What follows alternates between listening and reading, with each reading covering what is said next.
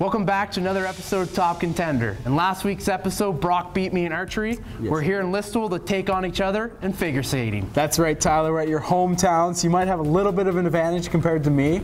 But let's get right into it. First, we're going to learn a little bit about the Listowel Skating Club.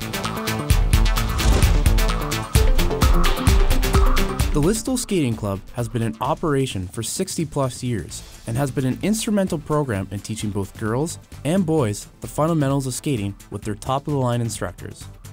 Whether it be power skating geared for hockey players or figure skating, the Listowel Skating Club is a great place for advanced and non advanced skaters.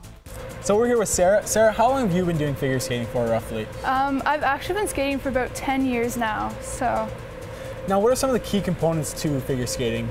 Um, probably balance. You need a lot of balance to be a figure skater, and staying on your feet is.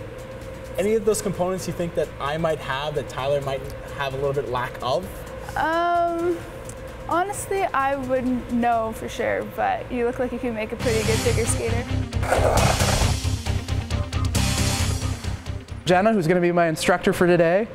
Jenna, can you just tell me how long you've been involved with figure skating? Um, I've been involved in figure skating for 16 years. 16 years. And what, what have you liked most about figure skating? Um, my favorite part about figure skating is just doing the figures and movements and spins and jumps. Is there anything that you can tell me that can give me the upper hand on Brock? Balance is key, and don't be afraid of falling. All right, well, thank you, Jenna. Stay tuned. The challenge is coming up next. Tyler and I will both attempt to do three figures to impress the judges the waltz jump, the sit spin, and the spiral. The winner will be whoever has the best technique for all three figures. Technique is determined by whoever can replicate the instructor's demonstration the best without falling. Let the games begin. Jenna shows us how the waltz jump is done. Tyler and I don't have the best form for this one.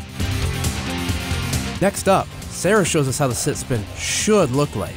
Definitely not like this. Brock definitely has the spin, and he definitely has the sit. And finally, the spiral.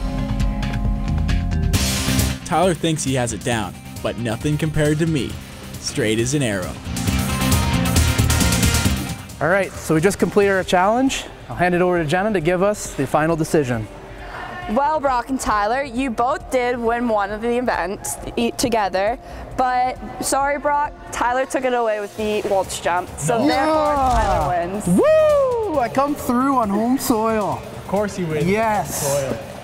All right, so heading into our next event, and after four events, me and Brock are all tied up 2 2. So really stay tuned for the next episode. It should be really intense.